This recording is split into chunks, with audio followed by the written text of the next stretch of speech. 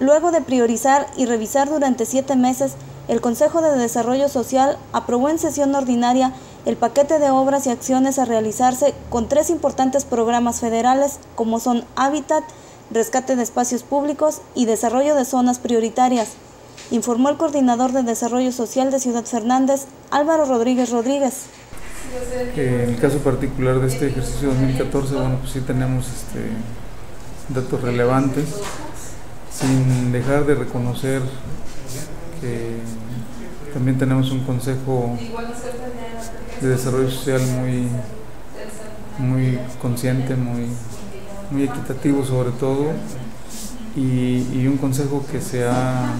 adaptado muy rápidamente a, a los cambios que el gobierno federal ha decidido hacer para el manejo de los recursos federales,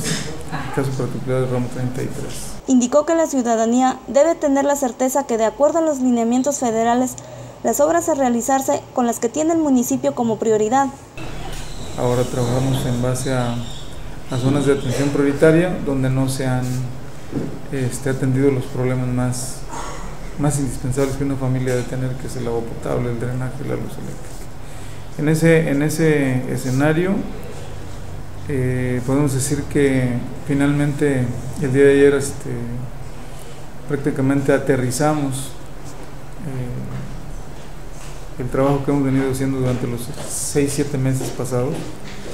adaptándonos a las, nuevas, a las nuevas reglas, a los nuevos lineamientos.